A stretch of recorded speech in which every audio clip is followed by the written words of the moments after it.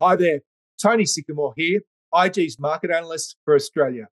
Well, US equity markets tanked overnight as yields soared on the back of a red hot job openings report, which reinforced the message from the recent FOMC that yields will need to stay higher for longer to cool the economy.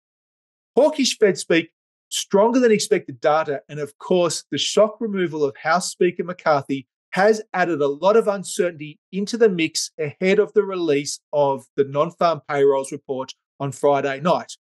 Let's take a look at the chart of the S&P 500 and the Nasdaq starting with the S&P 500 to see where they're lining up ahead of that key economic data.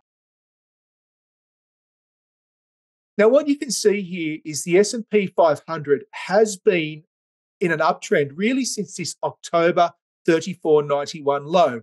Our thoughts were that the S&P was undergoing a correction from this 4607 July high, which would start to bottom out in this area here. We did see some tentative signs of basing middle of last week.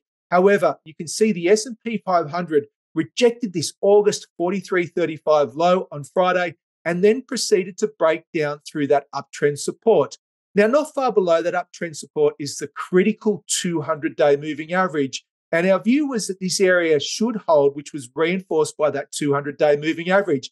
So while the S&P is wobbling, we do not have a confirmed invalidation of our corrective scenario, which we've been outlining in our videos.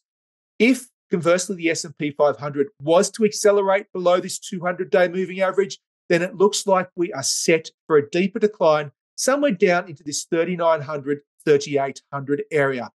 Looking at the NASDAQ 500, the chart actually remains incredibly corrective. You can see this impulsive rally up since March of this year, which took us up to this 15,932 high.